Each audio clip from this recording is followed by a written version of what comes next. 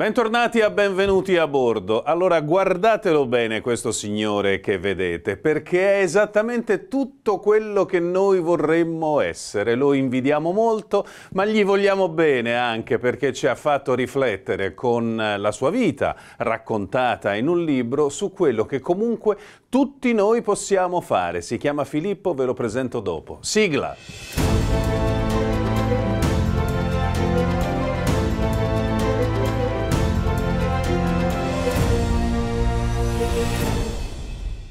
Buongiorno Filippo, buongiorno. Ciao Corrado e grazie dell'invito. Grazie a te per averci fatto navigare nella nostra disperazione. Filippo Buscaroli, adesso ve lo racconto, è un signore di 33 anni che ha avuto il coraggio a un certo punto di mollare tutto e di seguire quello che è stato poi, che è diventato il titolo del suo libro, Wanderlust, eh, che è una uh, un moto dell'anima, la voglia di viaggiare, di andare lontano, di sperimentare nuovi orizzonti, vedere nuove facce, insomma quello che tutti noi desideriamo. È anche, e finisco la presentazione, è anche diciamo un, anche un retroterra filosofico nel romanticismo ottocentesco, uh, Goethe, i, i, viaggi del giovane signore, l'Ottocento, i Grand Tour, insomma ci costruiamo quello che vogliamo, ma soprattutto è una vita piacevole che va da un continente all'altro. Filippo, è così, raccontaci. È così, è così Corrado, è, è una sindrome la definirei io, è, ehm, è un qualcosa, proprio un motto dell'anima, un, una pulsione che fin da ragazzino eh, ho sviluppato e ho cominciato a provare, poi ovviamente crescendo le ho dato una definizione, no? un senso logico. Mm, diciamo che è una cosa che io credo sia innata, e poi ci sono tanti studi sotto che lo dimostrano. Raccontaci, raccontaci la tua strada. Tu vi, hai vissuto prima, mh, mm, mi dicevi, tra Bologna e Imola, dove sei nato, poi Milano, poi a un certo punto hai detto, sapete che c'è? Hai fatto la valigia piccola, immagino, nemmeno troppo grossa, e te ne sei andato... Sì, in realtà grossa all'inizio. E te ne sei andato in Australia. Ecco, cominciamo da qui la tua storia. Sì, come hai detto tu, io ho avuto un passato, sono partito che avevo già compiuto 25 anni e avevo avuto esperienze lavorative di vita in Italia e, e sono partito per l'Australia con un biglietto di sola andata insieme alla mia ragazza, e, che poi è diventata mia moglie, e, e da lì non sono più tornato indietro. Beh, un, un, un, gran coraggio, un gran coraggio che però ti ha pagato e hai raccontato tutte le tue avventure in questo libro, Wanderlust, che ha venduto, che poi è tedesca, la, la, la definizione Wanderlust è tedesca, come si pronuncia esattamente? Che io il tedesco non lo so. Come, come, dici tu, diciamo, Wanderlust è, è la dizione corretta mm, okay. per noi italiani, internazionali, diciamo. Allora, nel tuo peregrinare, eh, quali posti meravigliosi hai incontrato che ti sono rimasti nell'animo? So che hai amato l'Australia, so che hai amato anche le Hawaii. Sì, sono legatissimo all'Australia perché da lì è iniziato tutto ed è stata la prima grossa esperienza di vita e poi sì, come hai detto tu, io ho un grande, ho un debole per le Hawaii, ehm, perché vi ho vissuto in periodi diversi, lavorando o studiando.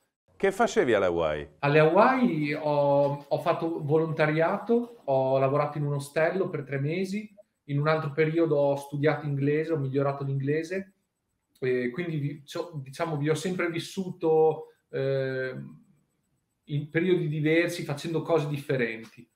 Oh, poi che altri posti ti porti nel cuore? Ma sicuramente sono molto legato anche alle isole Figi, che sono questo arcipelago in mezzo al Pacifico tra l'Australia e il Sud America più o meno. Certo, voglio dire, tutti i postacci, eh? Tutti, eh, sono un amante del mare, eh, si capisce dalla scelta dei luoghi. Se ne devo elencare altri due, in, mm, due o tre in cui ho viaggiato, sicuramente l'Alaska è uno dei posti più incredibili mm, che abbia visto e, ehm, eh, non so, ce ne sono tanti, anche l'Ecuador se ne dovessi dire uno. Beh, insomma, un, un, panorama ben composito, però poi a un certo punto ti sei fermato e ora stai a Fuerteventura, eh, sempre abbracciato dal mare, ma quanto pensi di starci? Ma penso di starci tutto l'inverno o gran parte dell'inverno e sicuramente anche quello che è successo a livello mondiale, la pandemia, mi ha bloccato parecchio perché ehm, io ero, ero, in Perù ad aprile del 2020 quando è iniziato tutto e ho fatto un po' di quarantena là e sono riuscito a rientrare soltanto a maggio del 2020 e da lì ovviamente sono stato molto più tempo in Europa, eh, anche per le restrizioni che ci sono ovviamente.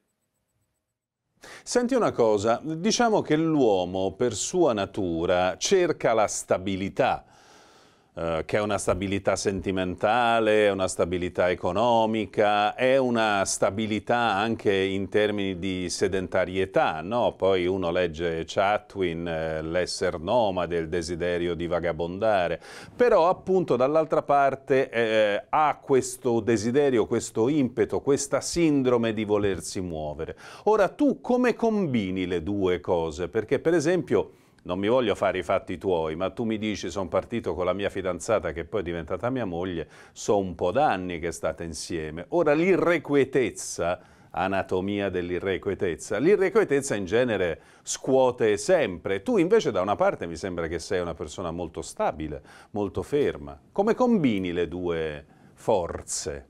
Eh, questo è un argomento complesso. Eh, io sono sempre stata una persona irrequieta di natura fin da ragazzo eh, molto meno a livello sentimentale.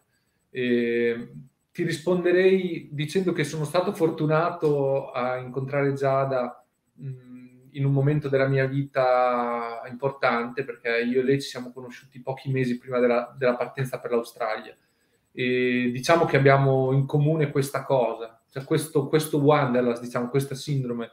Quindi è stato, è stato facile combinare il sentimento con diciamo, un, un, pensiero comune della vita, ti direi.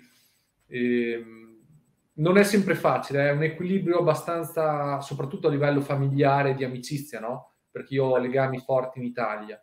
Eh, però credo che una volta digerita la cosa, il, modo, il mio modo di essere, il nostro modo di essere, si riesca a trovare un equilibrio con le persone in generale, no?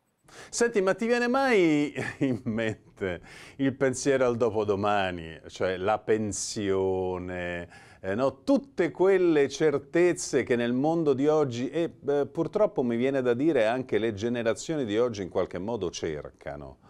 Ecco, la certezza per te cos'è? La certezza per me è la libertà.